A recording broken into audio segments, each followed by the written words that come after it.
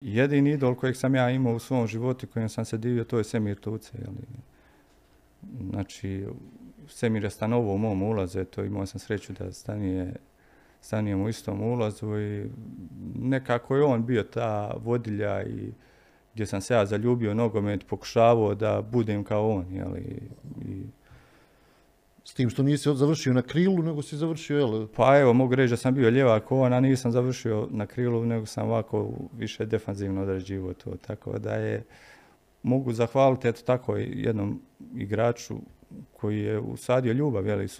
Svojim igrama na terenu on je usadio ljubav prema nogometu i, i to je sad što ova djeca u današnja imaju priliku gledati te, te zvijezde što su vani, pa šta, šta je, mogu šta je bolje? njih. Je. Šta misliš šta je bolje, ne znam, za, za djecu? Da imaju uzore tako skupe neke velike, velike zvijezde, pa ne morate Ili... gledati to po količini ugovora koju pa ima dobro, ali u nekom, ali je bitno po, po, Evo vam po rezultatima, po postignutim golovima, po osvojenim trofejima, to je bitno.